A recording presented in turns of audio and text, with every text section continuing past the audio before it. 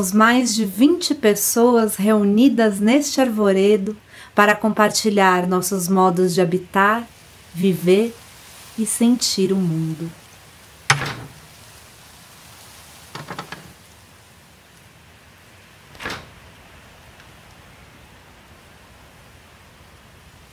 Poesia, teatro, filosofia, permacultura, fitoterapia, culturas ameríndias, africanas, orientais, arquitetura, yoga, música, dança cigana, dança do ventre, performance, cinema, fotografia, fotocinema, arte contemporânea, videocontos, construção de instrumentos musicais, cartografias de pássaros e muito, muito mais.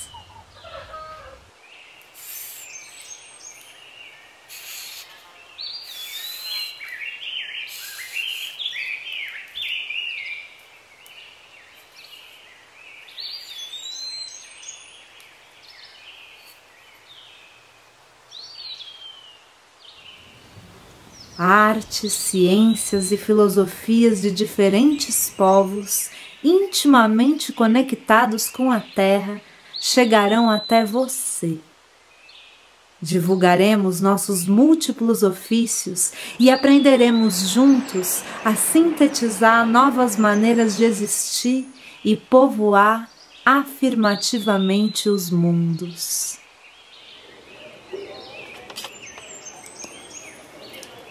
Nos aliamos às árvores para trazer longevidade, alegria, sombra, alimento, chuva.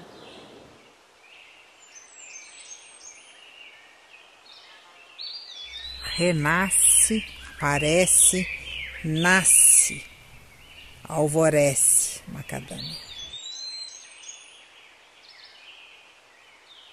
As plantas, para mim, têm uma relação muito grande com esse processo de observar a vida em maior profundidade e entender melhor as leis que regem a natureza. E que espécie melhor para representar essa ideia do que a árvore debaixo da qual Buda se iluminou pela primeira vez, que é a ficus religiosa.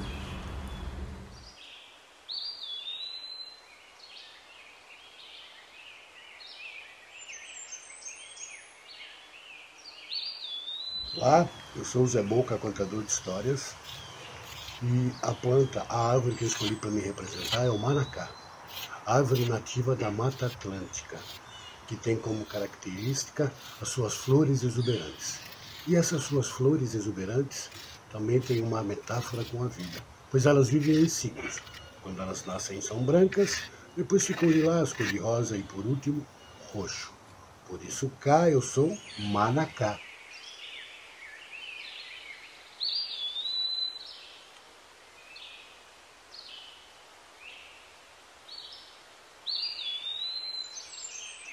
O centro da música filosófica de Nietzsche é o retorno à infância, nossa trajetória.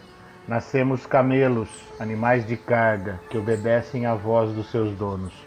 Passamos então por uma primeira metamorfose. O camelo se transforma em leão. O guerreiro, o dono da sua vontade. Acontece então a última metamorfose, para que possa a vontade do leão se realize. Ela se transforma em criança, que só faz brincar.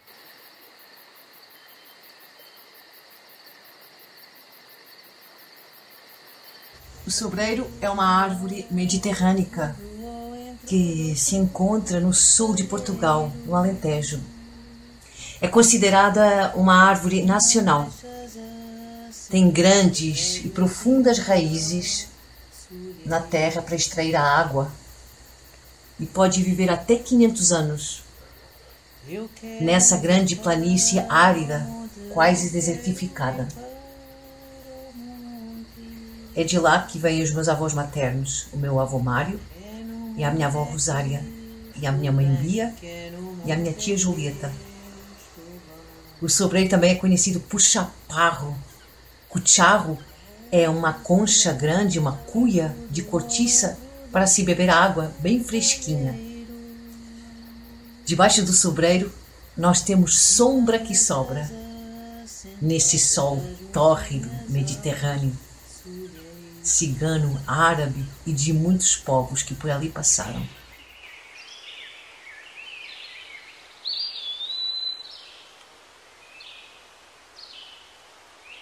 Pois é, eu escolhi o jacarandá porque acho uma árvore imponente, uma árvore lindíssima, uma árvore carregada de significado é, para o brasileiro, para, para quem é da Amazônia, para o índio, né?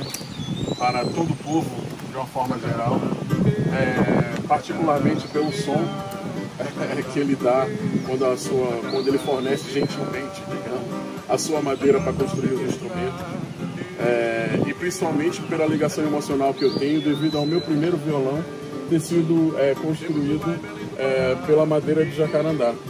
Então eu acho, por isso eu acho uma árvore que, que me, é muito, me é muito próxima do coração. Jacarandá.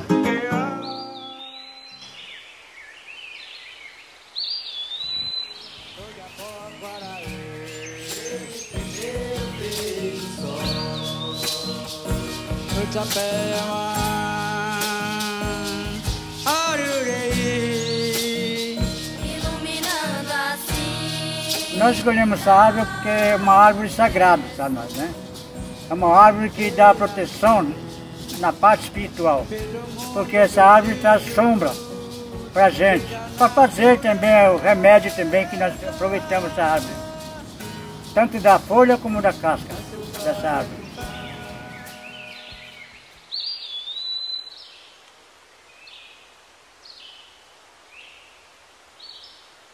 As sequoias gigantes pertencem a uma classe de espécies tecnicamente dotadas do que cientistas denominam imortalidade biológica.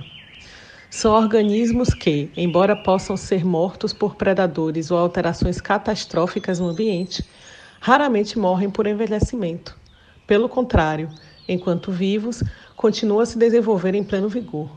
A sequoia é uma árvore da família Capricaceae e ganhou notoriedade pelas dimensões agigantadas, assim como pela sua grande longevidade.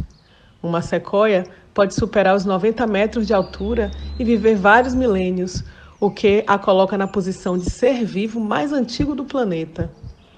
Estas características acabaram por despertar as atenções de inúmeros biólogos, cientistas e especialistas ao longo da história. Ambos consideram unanimemente a espécie como um verdadeiro fóssil vivo dos nossos dias.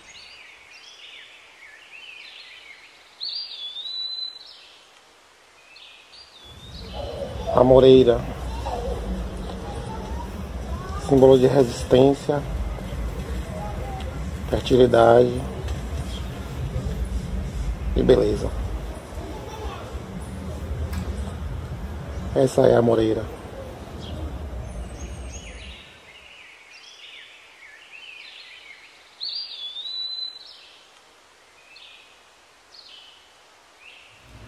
Imagem de uma moreira que tinha na escola dos meus filhos, e quando eles saíam da aula, iam para casa, antes eles paravam naquela moreira e eles subiam nela e se fartavam dos frutos, se fartavam de convivência com os amigos, as mochilas espalhadas ou com as mães, enfim. Aquela cena se repetiu várias vezes e ficou, ficou comigo, ficou gravada e, e nesse momento ela voltou, ela fluiu com leveza. E, e no momento que a gente está em casa, né, todos em casa, em isolamento, eu fiz essa relação então, né, da moreira, apesar de ser uma, uma planta asiática, exótica, tem uma história, né, dos brasileiros com a moreira. Muita gente tem história, né, com pé de amora, ou de fazer doce, ou de subir no pé, se lambuzar, enfim. Ao lado da minha moreira, um fim de tarde. Gratidão.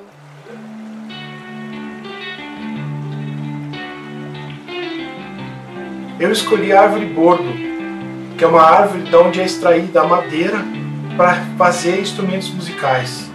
Elas são extraídas de um, de um reflorestamento sustentável, portanto, tem tudo a ver com o que eu quero transmitir nessa quarentena, nesse momento que estamos vivendo. Sustentabilidade e música.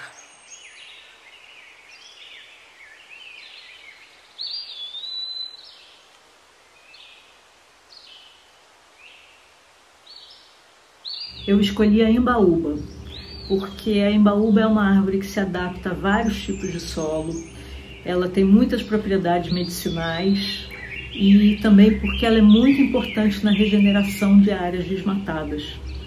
Eu acho que a embaúba nos oferece muito do que a gente está precisando nesse momento de pandemia, que é cura e regeneração.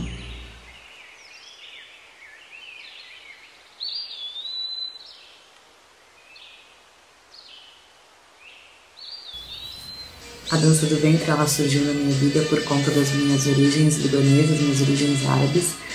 E por isso eu escolhi o cedro do Líbano, que inclusive está na bandeira deles, é a árvore que representa essa nação, que representa esse país, da qual eu tenho muito orgulho de fazer parte, né, de, ser, de ter a descendência. E para mim faz muito sentido escolher essa árvore porque ela representa quem eu sou e representa a dança que eu tanto amo.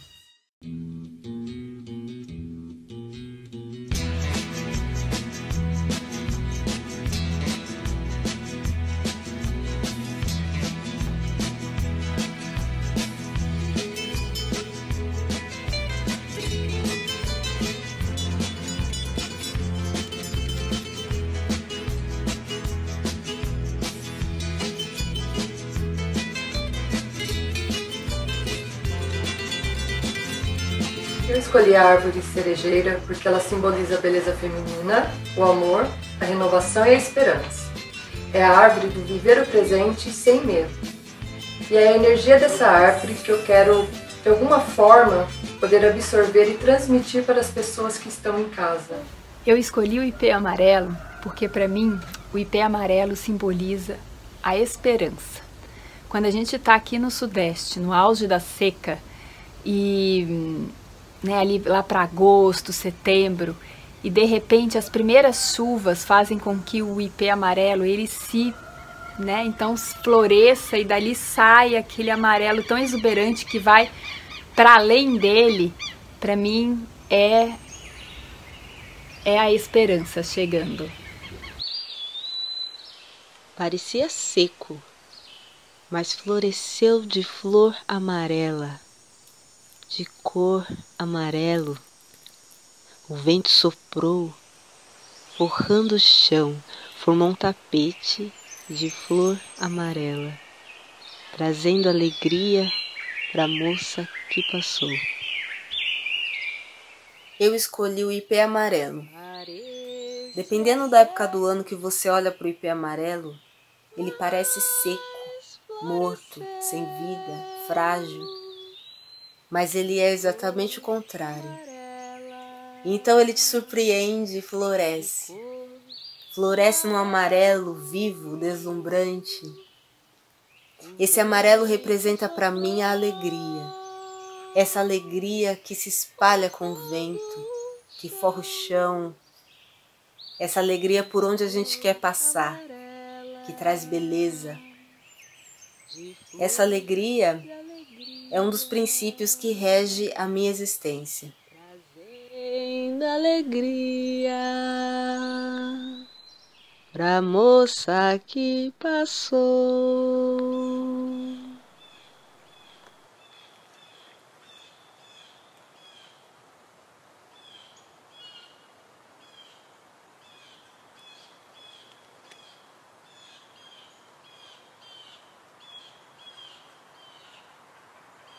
Então, pô, a gente tá em Recife, que tem muito mangue. A gente vê o mangue pela janela, no rio Capibaribe. E a gente escolheu o mangue preto, que é uma árvore coletiva e rizomática. Como nós! Eu escolhi a cibipiruna porque é, antes mesmo de tomar conhecimento que ela era uma árvore muito comum nos projetos paisagísticos de, das cidades brasileiras, eu fiquei sabendo dela é, através de um amigo meu, que é artista visual, Daniel Jablonski, que estava pesquisando é, algumas madeiras, que o nome popular dessa árvore é falso pau-brasil.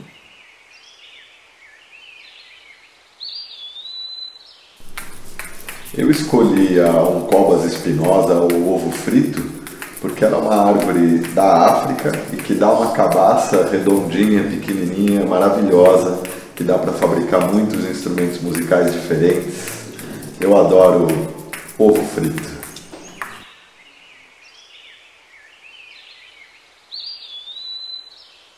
Arvorecer em casa.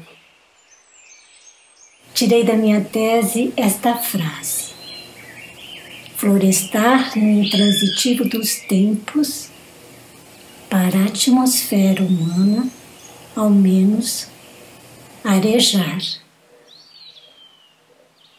Ah, o jatobá eu escolhi imaginando pendurar todos os pássaros da cartografia ecologista que vem matutando. serão produções inéditas, geradas com muita dedicação por estes semeadores, dando a eles a possibilidade de trabalhar, gerar renda e sustentar suas famílias. Queremos cultivar uma atmosfera de afeto e cuidado, de estudo e movimento, de liberdade e solidariedade. Apoie essa iniciativa